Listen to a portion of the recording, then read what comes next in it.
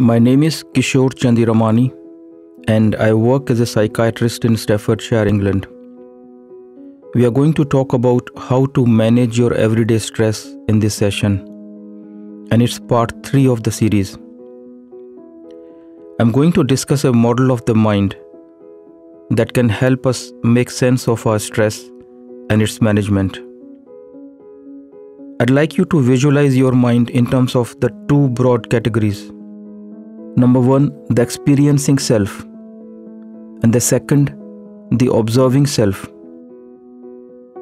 I have borrowed these concepts from the psychoanalytic traditions within the scientific psychology.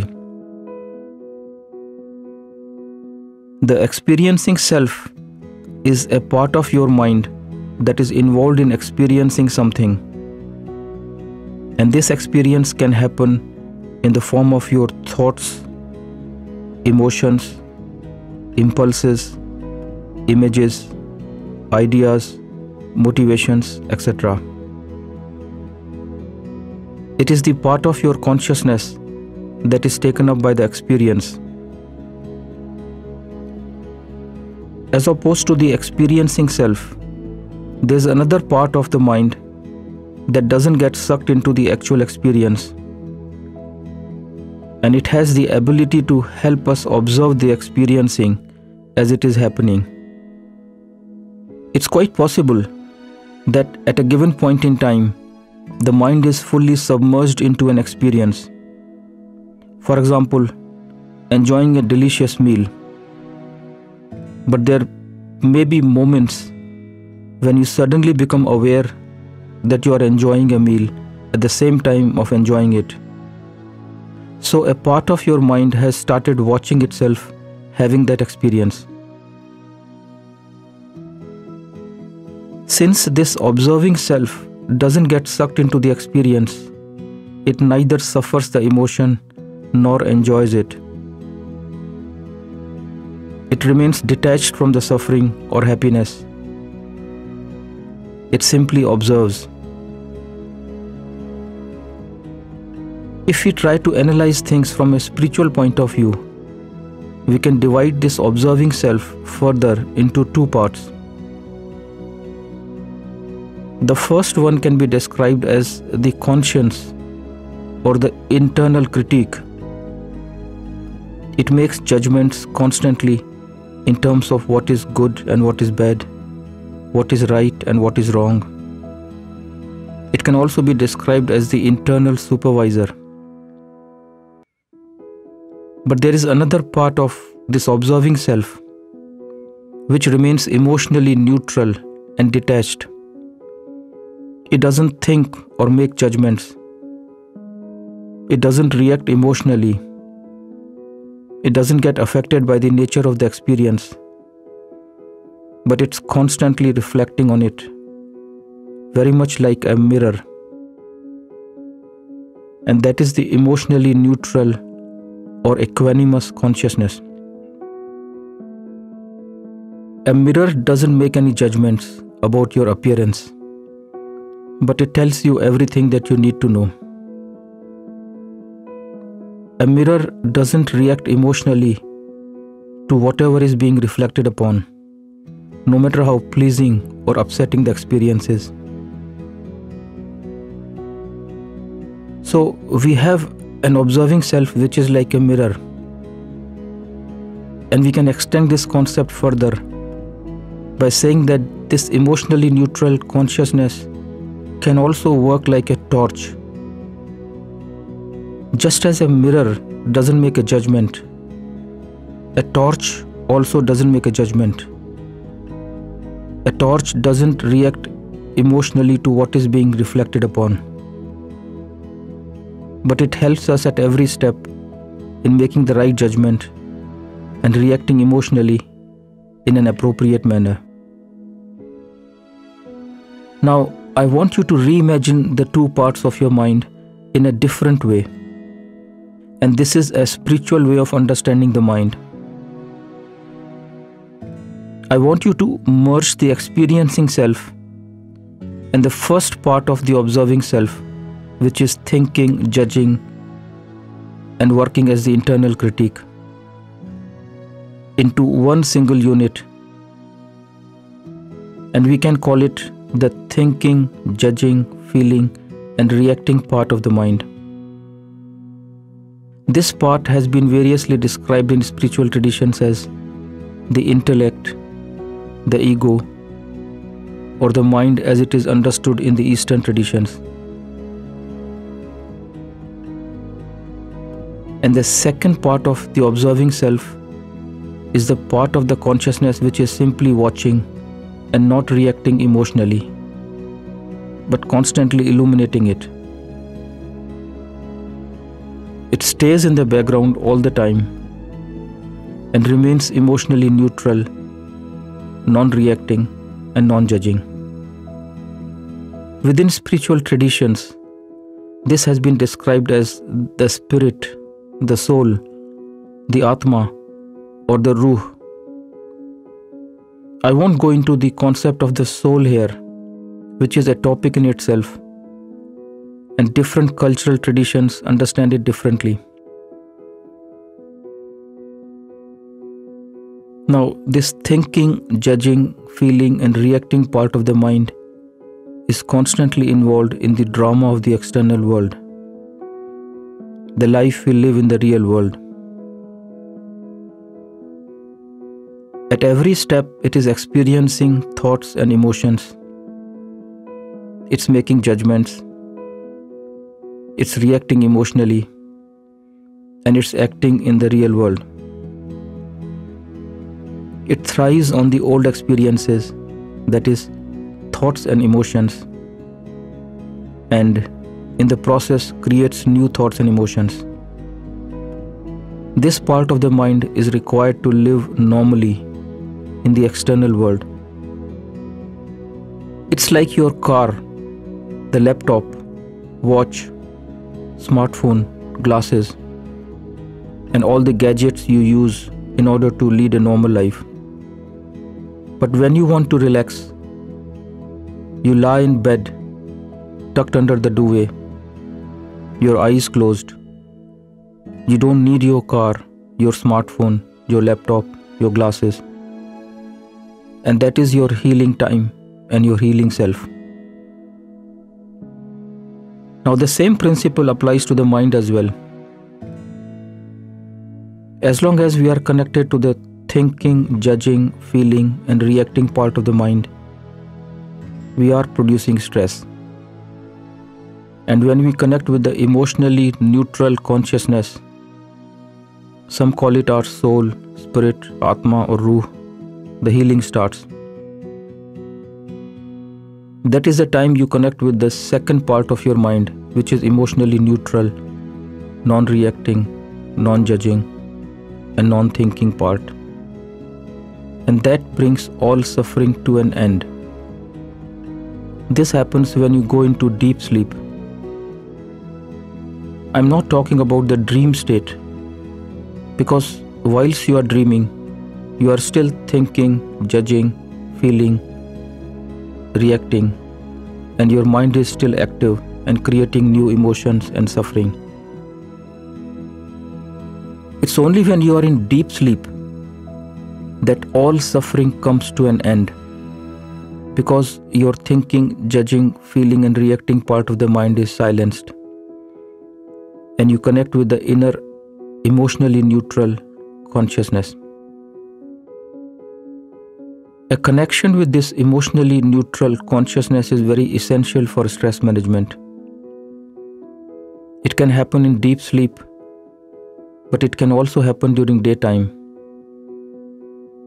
there are short moments when you see yourself cut off from the politics of the mind and feel connected with the moment without having any intense thoughts or feelings, but at the same time experiencing deep inner peace and tranquility.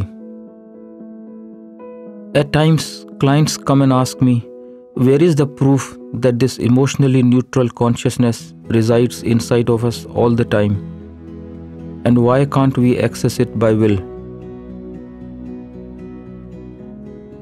To answer that, we find that history is replete with case studies where people have found deep inner peace in the midst of a crisis. Spiritual leaders like Swami Vivekananda, Neale Donald Walsch, and Eckhart Tolle found deep inner peace when they were going through major psychological crisis. Let me give other examples. A therapist colleague of mine was seeing a client for therapy, and this client was diagnosed with malignancy. She had presented to this therapist with features of anxiety and panic. One day, her oncologist told her that she had only a couple of months to live. And that resulted in a dramatic improvement in her anxiety and panic. Now, how do we explain this?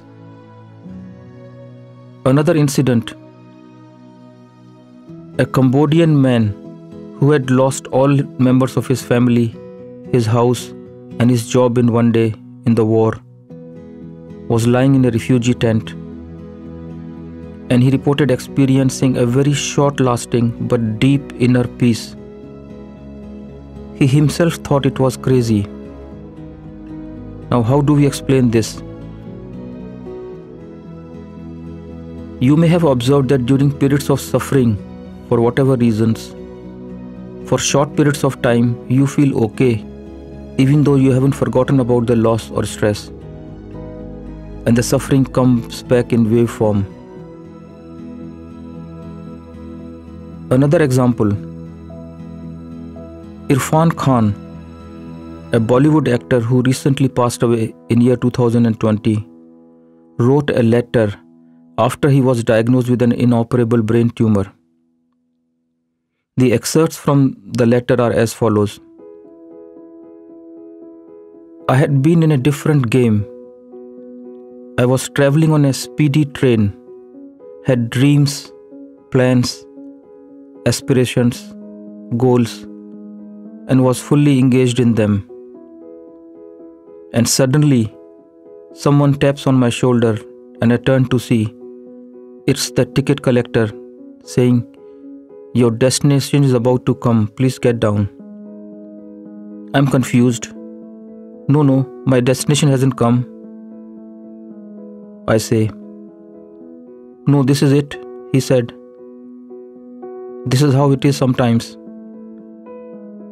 The suddenness made me realize how you are just a bottle cork floating in the ocean with unpredictable currents and you are desperately trying to control it.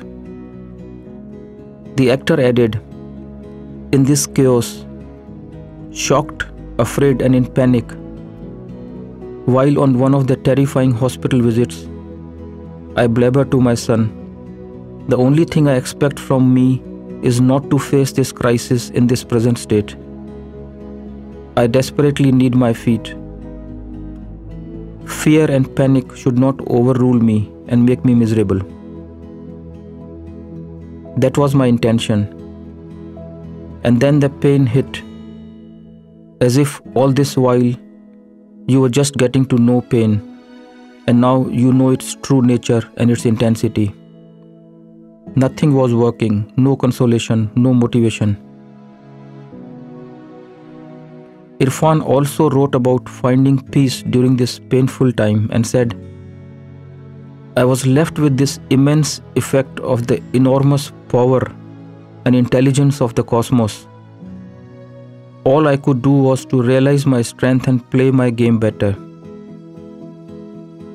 He continues, This realization made me submit, surrender, and trust, irrespective of the outcome, irrespective of where this takes me, eight months from now, or four months from now, or two years.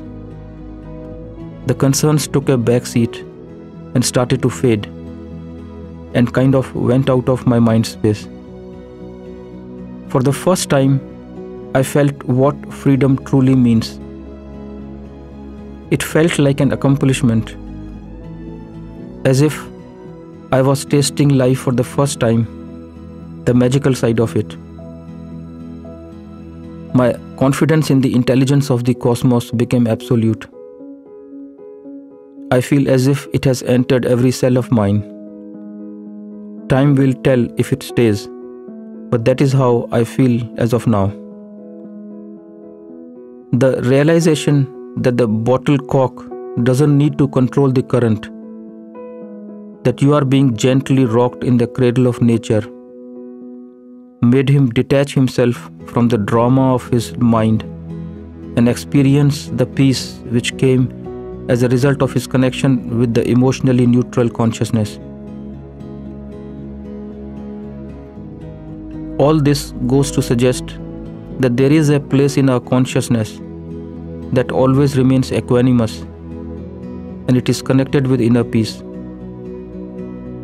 The problem is that we can't connect with it as frequently as we wish. It's because of our past conditioning, which can be worked on. In this session, I've only described the mind in terms of the two broad components.